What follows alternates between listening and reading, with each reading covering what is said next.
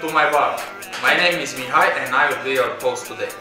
For this competition I've prepared a cocktail that is a simple combination between a julep and a swizzle and it contains mint, simple syrup, Bols fragrance and champagne. For the Bols fragrance I use fresh raspberries, lime juice, Bols raspberry liquor and cranberry juice.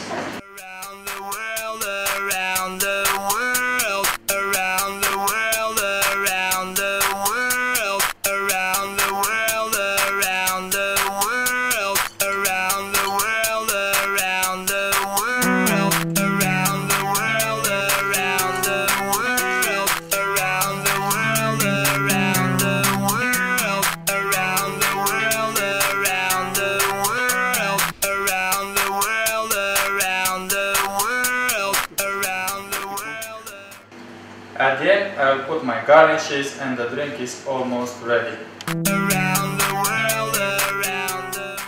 And this is my Dutch fragrance. Vote for me and we'll have a lot of fun. No, no, no, no, no, no!